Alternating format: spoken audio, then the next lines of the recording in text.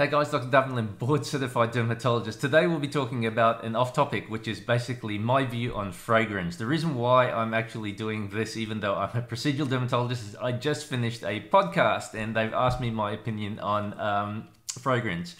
Now, uh, I'm neither pro fragrance nor am I against it. The only thing I'm against is if you have a fragrance allergy or if you have I guess, skin conditions which may predispose you, once again, it's a risk benefit ratio, predispose you to getting a fragrance allergy. So, just to put things in context, fragrance, the allergic rate in the population, in the normal population, so we, will look at the randomized population, not a population which goes to a patch test clinic, um, which is where dermatologists work to figure out whether you have any allergies. Um, so the general population, it's only 1%, right? To put, to put things into context, when we look at um, the population who is, uh, I guess, allergic to things like nickel, which is one of the most common uh, contact allergens, that's actually 10 times higher. It's about 10%. So we don't go on about, um, I guess, avoiding, um, you know, avoiding nickel, avoiding um, buttons, avoiding metal. Um, but we, I think there's a lot of chat out there um, in the cosmetic world and in blogs and in YouTube uh, in regards to fragrance. So this is my two cents worth, um, and hopefully this is a balanced opinion, yeah, because coming from a dermatologist, we are well versed in the, um, I guess, role of fragrance. And when we do patch test clinics during our dermatology training, where I think all dermatologists, we all have to do patch test uh, training. Yeah, in other words, we have to go to and um, run clinics where we find out what patients may be potentially allergic to. And how we do that is with patch testing, either to your personal products or what we call the European standard battery. So, um, when you work as a dermatologist, you get a skewed, I guess, um, uh, opinion on certain things because we see patients time in, time out with certain allergies. And fragrance allergy, it always comes, well, I say it was, it, when you work in general dermatology, it comes up at least two, three times a day um, in, in your general work, yeah? Reason being is that um, patients, uh, when they see dermatologists, generally speaking, they see them uh, for, as in general medical dermatologists, not cosmetic dermatologists. What dermatologists when you actually have skin problems. So when you see a dermatologist for, for example, a rash, whether it be eczema or dermatitis um, or a rash of unknown cause, whether it be a facial rash, generally speaking, um, there's inflammation, yeah? And the inflammation, if you have broken skin, if you have compromised skin, um, we have to think of all these different things, including uh, allergic contact dermatitis, not just irritant contact dermatitis. Irritant and allergic is very different because with an irritant dermatitis, just to give you an example, um, okay, for example, a retinol or retinoid, right? Allergies are rare, irritant reactions are common, which means if you're going to use a strong concentration whether it be a prescription retinoid or whether it be an over-the-counter retinol, if you're going to use that often, uh, in other words, if you're going to apply it, let's say, just for example, you know, three, four, five, six, seven, eight, nine times a day, sooner or later you will get what's known as contact dermatitis, and the contact dermatitis is usually irritant. So irritant is uh, a good amount uh, applied frequently. Everyone gets it. Everyone has a different threshold. So most chemicals, including water, believe it or not, has an irritant potential. Allergic contact dermatitis is totally different. Allergic contact dermatitis means your T cells, in other words, your immune system's revved up, so you, all you need is usually a drop, sometimes even you know aerosolized, where it's in the air, and if your T cells and your immune system are revved up, you don't need a large amount. You only need a small amount, and next thing you know, your dermatitis goes um, haywire. And it's not just dermatitis on um, the sites. It can be, for example, like if you're using a cream, fragrance, for example, if you're not, if you're putting fragrance here, um, as in perfumes, it can also go into the air. It becomes aerosolized, um, and when you touch it, you touch your eyelids. Uh, it can also go in areas which are exposed, but not areas of which you apply it. And then if for really bad allergies, you can get sensitization and then your uh, immune system kicks up and then you can get an id reaction and, and you can have a massive reaction on your body, for example. So back to fragrance. As dermatologists, most of us don't use fragrance. The reason being is that we, once again, we are uh, in a skewed world where we see patients with compromised skin, with bad skin, with multiple allergies and I thoroughly agree.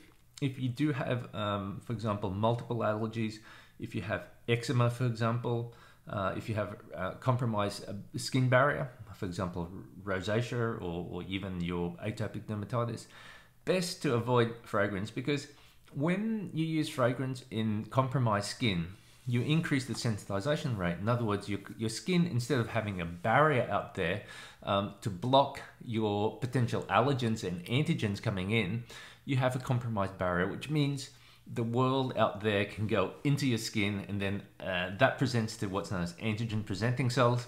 That goes to your um, immune system, your lymph nodes, and then they produce uh, T helper cells, and next thing you know, uh, dermatitis erupts. So uh, as a blanket cover, patients with sensitive skin, patients with previous allergens, patients with atopic dermatitis, fragrance is probably not advisable, yeah? Uh, because even if you don't have an allergy, it probably predisposes you to an allergy. Now, for everyone else out there, which is a lot, yeah? So when we're looking at the probability, the majority of patients do not need to avoid fragrance. They don't, yeah?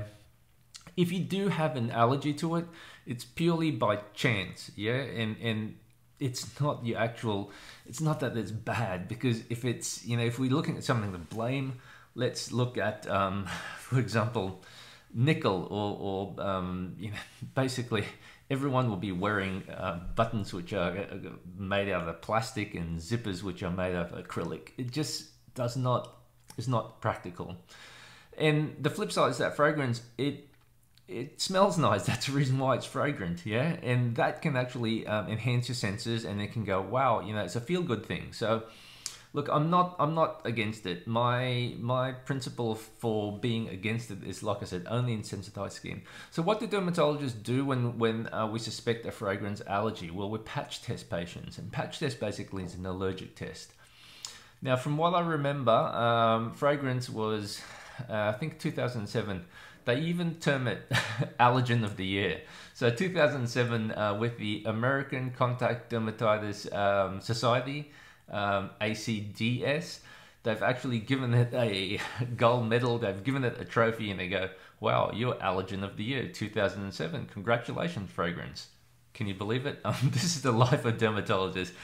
We, it's pretty interesting life. Eh? It's pretty boring life, and when we actually have to give an allergen an award and name it, whoa, you're the allergic allergen of the year 2007. Congratulations, fragrance. Now, um, as dermatologists, we use patch testing. Patch testing basically is part of the what's known as European Standard Battery.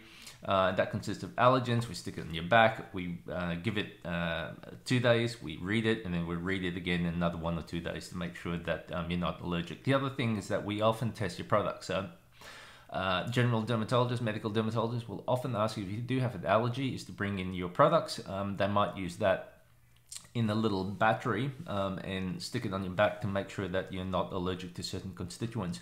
Now, if you look at, I guess, formulations of any skincare, right? So whether it be LRP, La Roche-Posay, whether it be Inkey List or Murad, what have you, there are so many chemicals. Um, so this video is not designed to teach you to read every single chemical, but to actually have an overview on fragrance and what we test for. So it's a difference between fragrance and unscented. Fragrance means there's no added fragrances. Unscented means there may be fragrances to actually hide the smell um, of the product. So it doesn't mean that if you smell it, you can't smell, it doesn't smell uh, good, you can't smell, you, you might have stuffed, stuffed nose, yeah. Um, but if you can't smell it, doesn't mean it doesn't have fragrance. It can be unscented because you can have different fragrances that actually hide the scent within the skincare product. Yeah, so that's very important. So yes, I guess if you can read it, it's it's actually important, especially if you have predisposing um, factors as discussed earlier. So dermatologists, we use um, patch testing and patch testing consists of, I think it's 8% uh, fragrance mix, uh, and I think in that 8% fragrance mix, there's eight different um, antigens or allergens that we look uh, look for. Uh, things like uh, cinnamates, whether it be, um, uh, I think, alpha uh, cinnamonic acid, and then you've got alcohol um, cinnamonic acid, and then you've got eugenol, your isoeugenol, your, um, I think you've got some also oak extract from what I remember. Um, and then your citronella, which is um, often used as an insecticide or with scented candles. So we, we look at eight potential allergens um, in this fragrance mix. And that covers about, I think from what I remember, 75% of um, fragrance allergies, not, not every single one. So what happens if you got um, the ones that are missing? Well, that that that's pretty hard. Yeah.